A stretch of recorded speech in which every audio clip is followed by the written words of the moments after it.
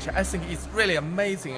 You know that it's very knowledgeable, and we got a lot of information about the sales, about marketing, about our inspiration of how can we get this kind of active energy from, which is necessary for the sales. He's an expert in uh, marketing, so he, and he's a very nice guy. And he do a very amazing speech here, and everyone is very satisfied his work. Just now, just um, an hour ago, I do simultaneous uh, interpretation for Steve Clark's. I think that he's a very good speaker. He's easy to translate. It's logical. It's quite clear, and uh, the uh, good speed. Uh, and well, I also think that his uh, presentation is very interesting, so it has a very good response from the audience.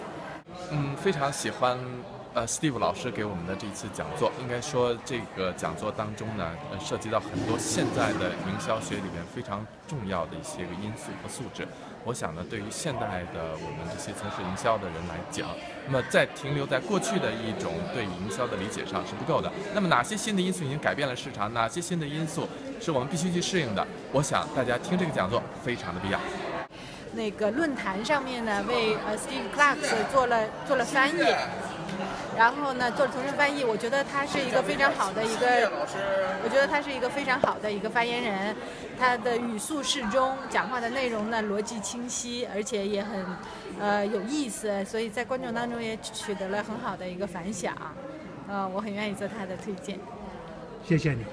嗯，大家好，我是盛世佳年的鲍晶。那么今天呢，很高兴能做呃 Mr. Clark 的翻译。然后呢，Clark 先生是一位呃营销方面的专家，他呢会为您的企业提供一些非常好的解决方案，I mean solutions to the business。嗯，然后呢，他是本人是一个非常 nice、非常 kind 的人，也也是非常容易合作的，所以他也非常期待为咱们的这些企业提供更好的服务。如果您有这方面的需求，有营销、营销战略方面的需求，您可以找到 Clark。